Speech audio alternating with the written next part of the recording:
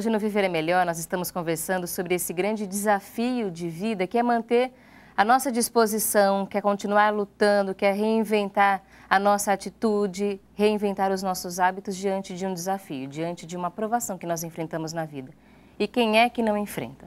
Então todos nós devemos nos fortalecer. É o que nós vamos fazer agora, agir de maneira preventiva.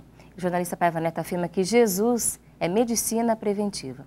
O Cristo nos ensina sempre a postura da perseverança, do trabalho, da confiança em Deus, da importância de nos fazermos úteis às pessoas. Quantas vezes nós achamos que estamos sofrendo muito, de repente a gente conhece alguém que sofre mais que a gente e nós percebemos que a situação não é tão difícil quanto a gente imagina. Ser útil, servir, tudo isso nós aprendemos com o Divino Mestre. É por isso que agora, neste momento de estudo e prece, nós vamos seguir a inspiração de Jesus, o Educador Celeste. Para fazer o nosso estudo hoje, convidamos você à leitura do artigo O Sol Nasce para Todos. É de autoria do jornalista Paiva Neto, está no blog paivaneto.com. E ele ressalta aqui, então, essa esperança de que para todos nós há esta oportunidade. O sol não escolhe para quem ele vai nascer, ele nasce para todos. E é essa reflexão que nós encontramos nesse artigo que dedicamos a você, amigo telespectador, que nesse momento está precisando se reinventar, fazer diferente, para melhor, é claro. Dedicamos ao seu coração esta mensagem. Escreve o autor. O Pai Celestial permanece sempre disposto a nos oferecer reiteradas oportunidades, mostrando-nos um infinito de belezas sem igual.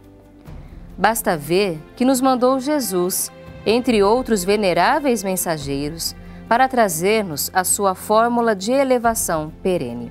Evangelho, segundo João, capítulo 3, versículos 16 e 17. Retratada na perspectiva de Martinho Lutero como a passagem mais tocante da Boa Nova. Abrir aspas.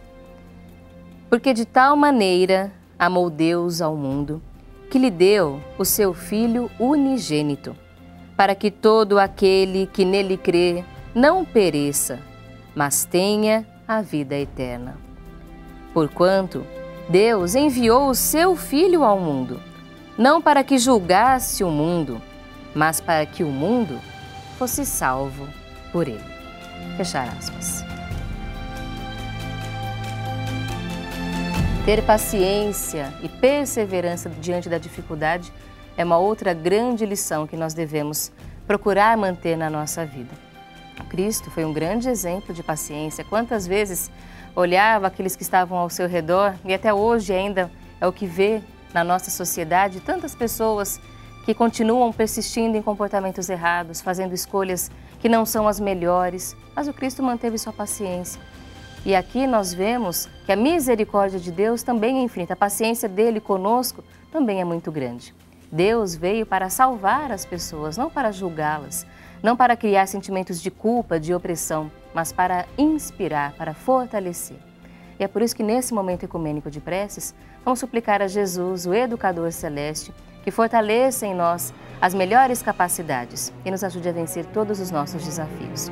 Quem nos conduz neste momento de estudo, especialmente hoje com um tema muito importante, é o jornalista Paiva Neto. Nós vamos nos unir agora num importante estudo e discussão a respeito da valorização da vida contra o aborto. Hoje o jornalista Paiva Neto traz a todos nós esta grande mensagem, uma palavra fraterna a todas as famílias contra o aborto, pela valorização da vida, pela valorização da maternidade, da paternidade, dessa relação tão importante. E traz algumas questões. O que é o ventre materno diante da lei de Deus? Qual é o significado do ventre materno? E qual a profecia de Jesus que representa este momento que nós estamos enfrentando.